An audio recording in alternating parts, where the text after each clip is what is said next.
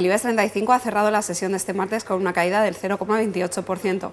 Pese al dato negativo, registra el mejor resultado de las bolsas europeas, que se dejan de media un 1,5%. José María Rodríguez, analista técnico de Bolsa Manía, señala que, a pesar de las caídas de la sesión, hay que reconocer que no lo hemos hecho tan mal, dado que Europa cae en torno al 1,5%. No obstante, la vela correctiva de este martes no tiene implicaciones de ningún tipo, por lo que el buen feeling de la sesión del lunes sigue intacto.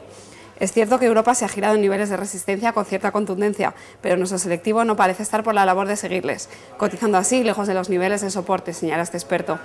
Sin embargo, recuerda que por el momento no hay nada que nos diga que no se pueden atacar de nuevo los máximos anuales, en los 11.884 puntos. El protagonista de la jornada ha sido Banco Santander, que ha subido más de un 1% después de presentar sus resultados trimestrales. Mañana les tocará el turno a Iberdrola, BBVA y Yastel. Eso es todo, más información en Bolsa Manía.